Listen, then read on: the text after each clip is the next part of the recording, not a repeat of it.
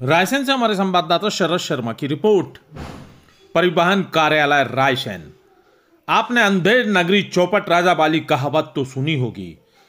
यही हाल रायसेन विभाग के कार्यालय के भी हैं, जहाँ आरटीओ महोदय किसी भी दिन ऑफ़िस में नहीं बैठते। वहीं उनके जिम्मेदार अधिकारी, कर्मचारी दिनेश वर्मा पूरे विभाग को चला रहे हैं।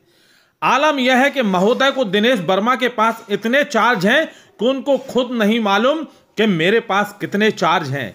या यूँ कहा जाए कि आरटीओ जगदीश भील से मिलने का रास्ता बाबू दिनेश वर्मा से होकर गुजरता है। रायसेन जिला परिवहन कार्यालय में ढर्राशाही कितनी हावी है, इसका जीता जागता उदाहरण आज देखने को मिला। जब कार्यालय में मीडिया की टीम पहुँची तो एक महिला कर्मचारी और एक पुरुष कर्मचारी के अलावा सभी लोग नदारत मिले।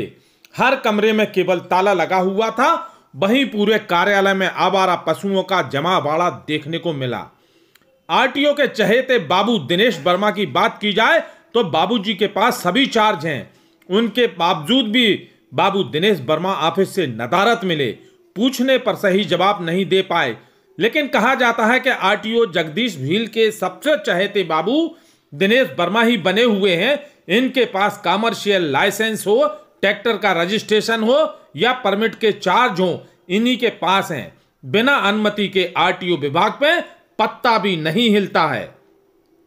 रायसेन से हमारे संवाददाता शरद शर्मा की रिपोर्ट। छतरपुर से हमारे संवाददाता किशोरी श्रीवास की रिपोर्ट।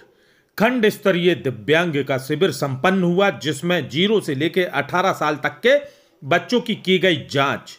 छतरपुर ज़िले के राजनगर बीआरसी में खंड स्तरीय दिव्यांग का शिविर लगाया गया, जिसमें ज़ीरो से 18 साल के छात्र छात्राओं को जाँच की गई। शिविर में लगभग 330 करीब छात्र छात्राओं की जाँच की गई, जबकि शिविर में 300 दिव्यांगों की जाँच किए जानी थी, लेकिन बीआरसी राजनगर के द्वारा हर दिव्यांग को तीस रुपए के नाश्ता एवं तीस रुपए किराया के रूप में वितरण किया गया।